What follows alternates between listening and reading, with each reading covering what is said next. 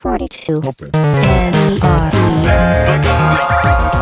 Ciao a tutti dal vostro Z Castle, grande occasione oggi perché ci troviamo con Michele Rec, Zero Calcare e finalmente grazie all'uscita della seconda parte di Macerie Prime, Macerie Prime sei mesi dopo, abbiamo veramente la fortuna e il piacere di incontrarti per fare questa breve intervista e questa breve chiacchierata.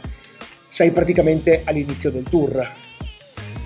Sì, mi sento già con dieci anni di tour praticamente. L'avevo- sì, immaginato? in realtà sì, stavo abbastanza all'inizio. Mm. Allora, finalmente è uscita la seconda parte, l'abbiamo attesa tanto perché il cliffhanger di Macerie Prime, la prima parte era bello intenso. Eh, La storia che hai raccontato fotografa una situazione decisamente seria anche un po' drammatica di quella che è la nostra Italia, la nostra condizione attualmente. E nel finale mi è sembrato quasi che ti stessi togliendo veramente un peso dallo stomaco. Come sta Zero Calcare adesso? Allora, in realtà questo libro qua che è un pochetto mm, un po' più triste forse de- degli altri libri, ma perché in verità sta eh, viene al termine de- dei tre anni comunque in cui ho effettivamente un po' faticato negli ultimi, negli ultimi anni a capire un po' come riuscire a fare stare in equilibrio questa cosa dei fumetti con la vita mia, con una serie di bilanci pure sulle scelte che ho fatto negli ultimi anni, eccetera. Quindi in verità è, è un libro che mi è servito a tirare un po' fuori tutta sta fatica de- degli ultimi tre anni, sta fatica, sta pure tentativo di capire tutto quello da imparare nella vita proprio, eccetera. E quindi come sto? Boh, sto più sereno di come sono stato negli ultimi tre anni e mi sembra di averci un lavoro comunque, è qualcosa che non è scontato per niente. E- No, anzi si ricollega Eh, perfettamente esatto. al libro. E sto invece indietro su tutte le altre cose. Io però il libro parla di macerie, per molti dei miei amici sono macerie lavorative, per io ho le macerie invece magari emotive. E- però insomma così uno prova avanti e vede come va. Macerie Prime ci mostra due generazioni a confronto. Quella mia, nostra, degli ultra trentenni, che a un certo punto sono cresciuti con un sogno e poi sono stati trascinati violentemente a terra e gli hanno detto qualcuno guarda che non è più così, c'è la crisi, non si possono più fare certe cose. E poi c'è quella degli abitanti delle macerie, che in realtà non possono essere traditi perché nessuno gli ha promesso proprio niente a questi. La verità è, chi è che sta peggio dei due secondo te? Non lo so, nel senso che eh, la nostra è, è una generazione che ha avuto un sacco di aspettative tradite effettivamente e quegli altri invece tutto sommato non avendo mai avuto nessuno che gli promettesse nulla non hanno mai sopportato questo tradimento. Da un lato ovviamente è una cosa che è molto triste, io quando vedo i ragazzini che in qualche modo a 10 anni già pensano, sono cresciuti all'interno della retorica della crisi e quindi già credono che finita la scuola dovranno baccagliare anche soltanto per riuscire ad arrivare alla fine del mese, non hanno nessun tipo di prospettiva come ci potevo avere io da ragazzino, un po' mi mette tristezza, è evidente che, che è avvilente.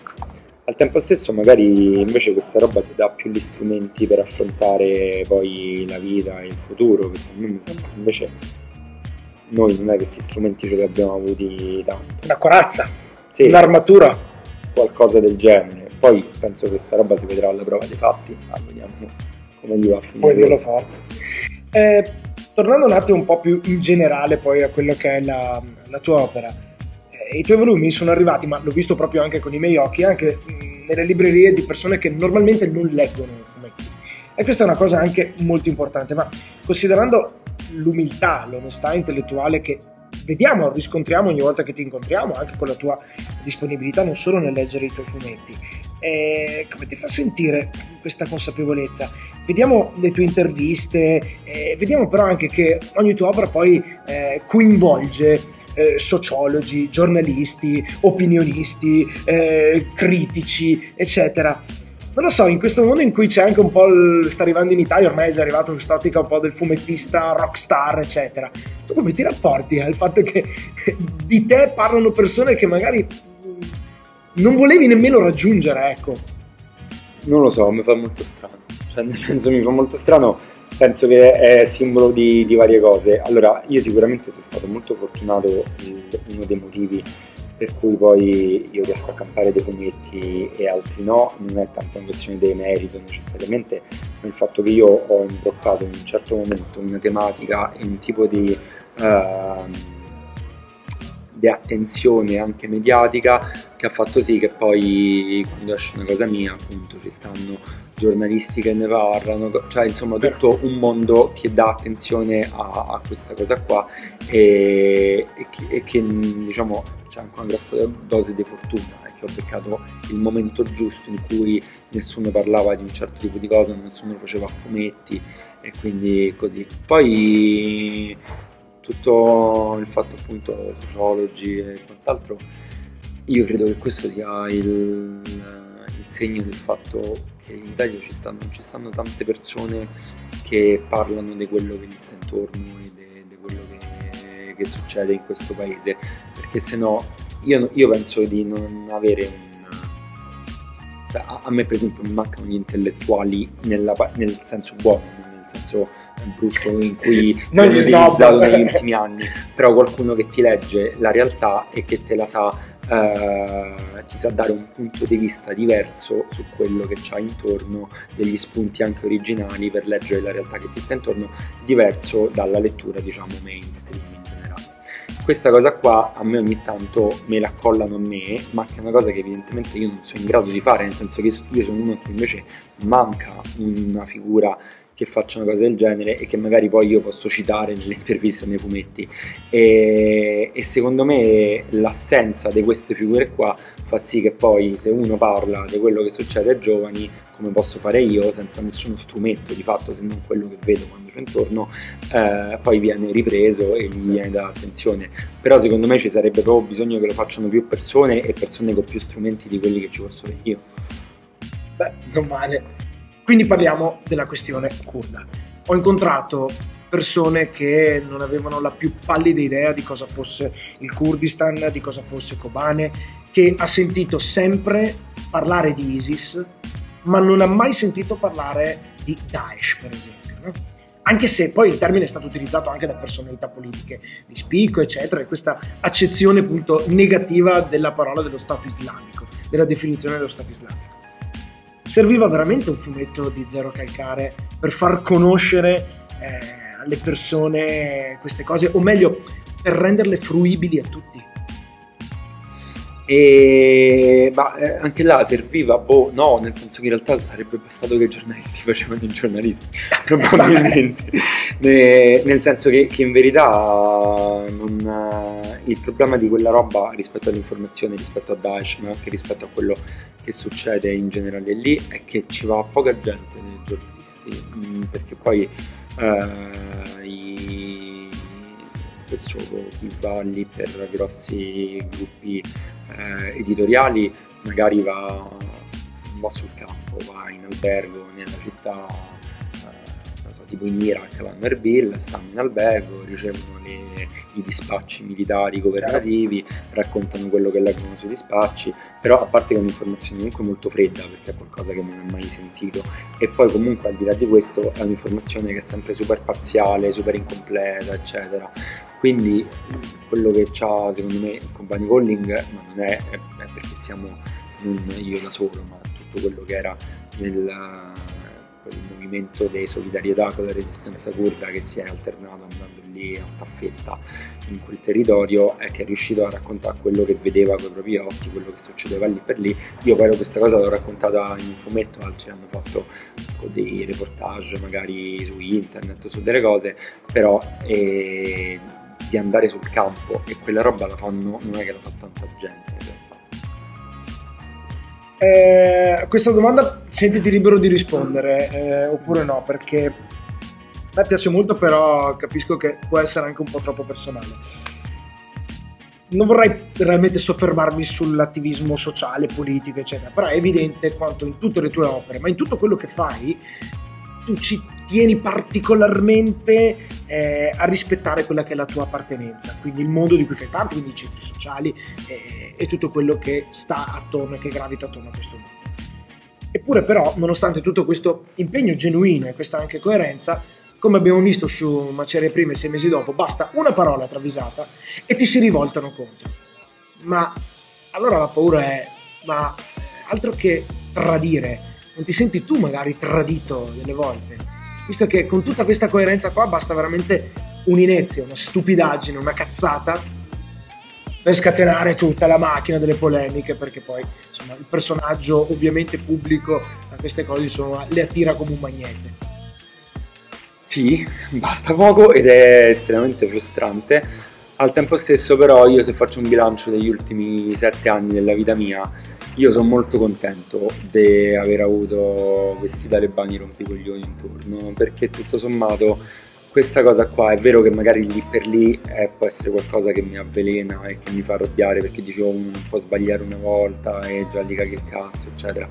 Però in realtà è qualcosa che comunque mi ha consentito sempre di tenere la barra dritta. Io negli ultimi anni comunque ho avuto un numero di stimoli e depressioni eh, addosso veramente di, ogni tipo economico, commerciale, eccetera. E se non avessi avuto comunque sempre qualcuno che anche in maniera cagagazzi e petulante a ogni scelta che facevo non eh, mi sindacava addosso e non mi parlava addosso, magari io rischiavo di perdere la bussola. Questa cosa qua ha fatto sì che comunque quantomeno una media tra le pressioni esterne e invece le vestali de, della purezza dall'altra parte, questa cosa a me comunque mi ha consentito di rimanere almeno sulla strada mia e di non perdermi completamente. Quindi in realtà io tutto sommato sono anche grato a chi mi ha cagato il cazzo negli anni. Complimenti, complimenti perché tu sei riuscito a trasformare l'unica roba che fa andare fuori di testa chiunque in una, in una forza. Sì, però è vero, ma perché io parto da un presupposto che io sono, cioè io vengo da, da, quel mondo là e io stesso sono un talebano in comunità, nel senso quella roba ogni volta che qualcosa mi tocca e quando mi dicono qualcosa e mi fa arrabbiare, in realtà mi fa arrabbiare perché comunque tocca un nervo scoperto, qualcosa che comunque non appartiene. Senti, ma parliamo un secondo di musica, poi arriviamo proprio all'ultima, all'ultima domanda. Ascolti sempre i Dead Kennedys e eh, tutto il resto del punk, dell'hardcore, eccetera, eccetera No, perché eh, scherzi a parte, eh, mi piacerebbe sapere se in realtà c'è stata una colonna sonora particolare nella stesura di entrambi i libri, se c'è qualcosa che ti ha accompagnato, qualche, qualche riferimento particolare. Poi, visto che tu hai un'identità musicale definita, a volte hai anche detto radicata, perché effettivamente hai detto che ti ascolti sempre tanti gruppi eh, di quando eri pischello fondamentalmente adesso che si parla tanto di tutta sta roba del trap, eccetera, c'è chi ha detto che sono i nuovi punk, che è il nuovo movimento Dada, che è questo, che è quell'altro. Ma da buon fruitore del caro vecchio punk, cosa dici? Quindi influenze e cosa dici di questa nuova tendenza? Allora, influenze sempre un sacco in realtà.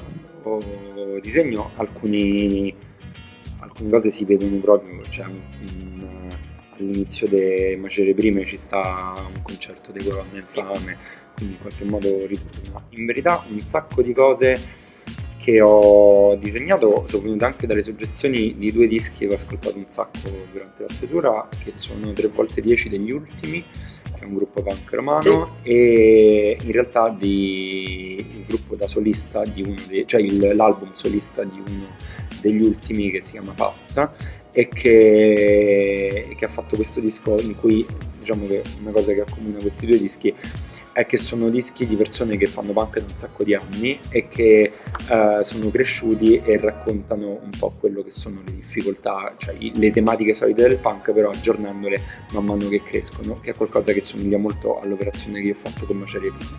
Quindi mi, mi identificavo molto in quel tipo di cosa. Rispetto alla trap e tutto il resto, che, che devo, eh, cioè nel senso è ovvio che a me que- quella musica non mi appartiene, cioè io mi sento il punk, a me non, non eh vabbè, quasi ok, niente, ma quello era... Quella roba è, è evidente. Mm, so vecchio io evidentemente, io, io non ci trovo n- nulla di simile al punk in verità dentro molte di quelle cose, dentro la maggior parte di quelle cose, e, però penso pure che non ci devo trovare qualcosa io, io ho 34 anni e non è evidentemente una musica pensata per me, eccetera. Se ci trovano dentro qualcosa i pischelli è giusto che i pischelli si facciano, si ascoltino la loro musica, si suonino la loro musica, è giusto così. Cioè non mi vorrei mai trasformare in mio padre che cagava il cazzo perché non mi ascoltavo dei Gregori, quindi insomma mi fa orrore quel ruolo. A tua madre piacevano i gruppi che, che no, ascoltavi? Non, non, non, no, li decifra proprio.